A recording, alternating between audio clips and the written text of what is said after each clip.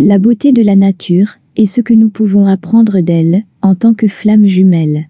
La nature, avec toute sa splendeur et sa sagesse, détient un pouvoir inexplicable qui nous fascine et nous inspire. En tant que flammes jumelles, nous pouvons apprendre des leçons profondes en nous tournant vers la beauté et l'harmonie de la nature qui nous entoure. Tout d'abord, la nature nous enseigne la patience et la persévérance.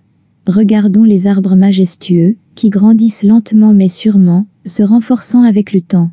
De la même manière, notre parcours en tant que flamme jumelle nécessite patience et détermination pour atteindre notre plein potentiel.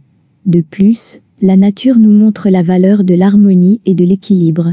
Les écosystèmes complexes et interconnectés nous rappellent l'importance de maintenir un équilibre sain dans nos propres vies et dans nos relations. De même, la relation des flammes jumelles exige une harmonie émotionnelle et une compréhension mutuelle pour s'épanouir pleinement. En observant la nature, nous apprenons également la force de la résilience. Des paysages qui se transforment au fil des saisons nous rappellent que la vie est un cycle d'évolution et de changement constant. De même, notre parcours en tant que flamme jumelle peut comporter des défis, mais la résilience et la capacité d'adaptation nous aident à surmonter les épreuves et à croître ensemble. Enfin, la nature nous enseigne la beauté de la diversité et de l'unicité. Chaque fleur, chaque animal et chaque élément de la nature ont leur propre essence distincte qui les rend uniques.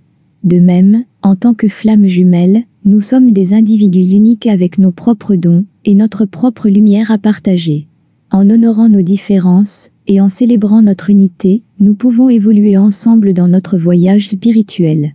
Que la nature nous rappelle toujours la sagesse et la beauté de la vie et que nous puissions apprendre de ces enseignements précieux en tant que flammes jumelles, évoluant vers une union spirituelle et un épanouissement durable.